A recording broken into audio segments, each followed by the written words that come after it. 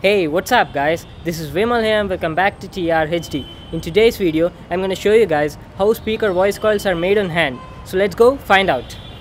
So guys, here I am at a professional speaker repair center. Now let's see how a speaker voice coil is made. First, you have to take a high quality heat resistant paper on which the coil is wound. Then place this paper on a mold which has an exact size of the diameter of the required voice coil. This guy over here made a winding machine out of a handrail by modifying it. Now let's start making the coil. First apply resin on the paper. It's a slow drying very hard resin. Now wind the copper wire on the paper as shown in the video.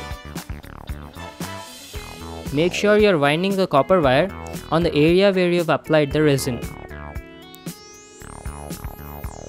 For different speakers with different specifications, you have to use different gauges of copper wire and also the number of turns differ based on the requirement.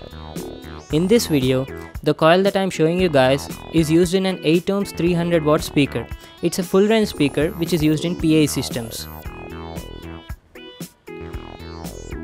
The winding of the voice coils is made in different layers guys. So as you can see the layer 1 winding has been done. So after winding the layer 1, he is applying the resin uniformly over it.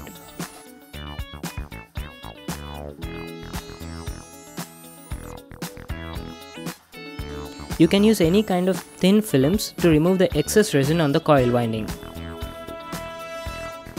Once the resin has been applied, you're ready to go for the layer 2 winding.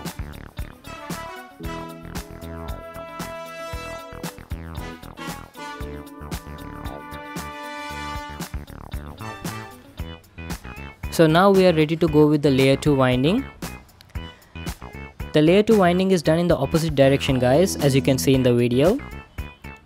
It is very easy to make this voice coil guys. You can learn by just watching this video. This guy over here is a professional. He's doing it so perfectly.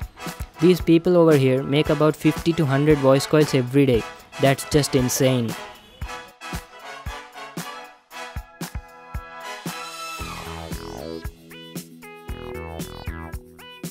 So our voice coil is almost done guys and is ready to be used. He's applying resin over it again to give it a final touch up which gives it strength and that glossy look.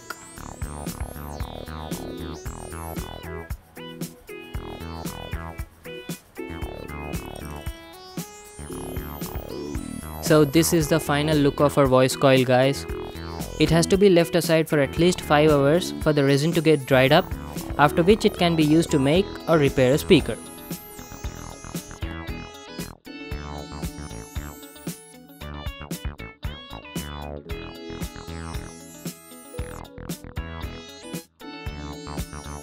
He wound another coil at the opposite end of the first coil so that when you cut it from the center using a blade, you get two different voice coils from a single paper.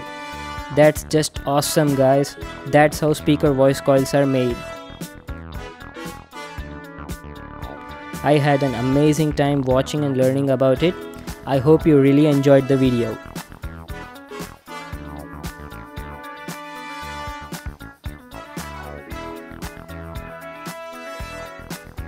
Thanks guys for watching my video.